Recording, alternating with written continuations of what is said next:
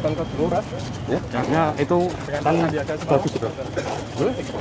Yang Pak Sandiaga semalam ada obrolan soal politik. Oh, enggak. Tentang pariwisata. Soal ketika gabung koalisi. Sandiaga.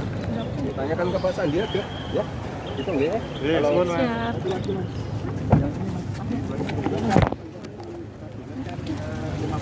lebih dari profesional dan yang sisanya adalah dari partai politik mas. Eh, untuk ke depan dari kabinet Mas Gibran nanti seperti apa mas? ya ditunggu aja ya. Akan ada apa komposisinya apa lebih banyak yang mana mas? Nanti ditunggu aja. Untuk susunan komposisinya ditunggu aja ya.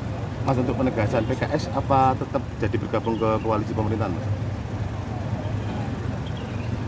Itu nanti yang menjawab Pak Presiden terpilih saja.